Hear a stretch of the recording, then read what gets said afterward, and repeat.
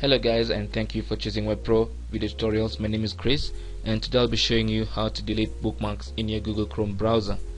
You might want to delete bookmarks from your Google Chrome browser to improve you know the efficiency of your browser or maybe just because you don't need those bookmarks anymore.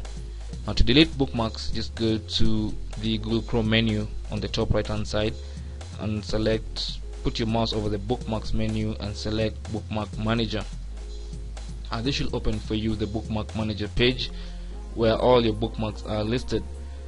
Now you can delete bookmarks from this page by selecting the bookmark you want to delete. For example if I want to delete this bookmark I just click on it once to select it.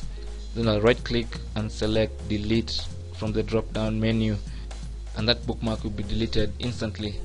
I can delete also a couple of bookmarks. For example if I want to delete 5 10 bookmarks I just press down control key on my keyboard. Then I'll select the bookmarks that I want to delete just like that. Selecting when I select all the bookmarks I want to delete I just right click on one of them and choose delete and that should delete all the bookmarks. If you want to delete all the bookmarks in your browser just press ctrl A on your keyboard to select all the bookmarks and then right click anywhere and click on delete and this should erase all the all the bookmarks in your browser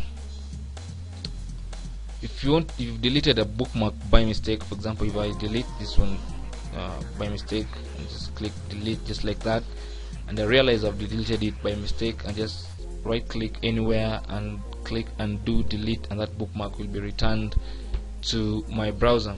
You can also delete bookmarks in folders. If I want to delete probably this folder with these two bookmarks I can just click right click on the folder and click on delete and that folder will be deleted together with all the bookmarks in that folder. So that's how you can delete bookmarks in Google Chrome. Thank you for watching.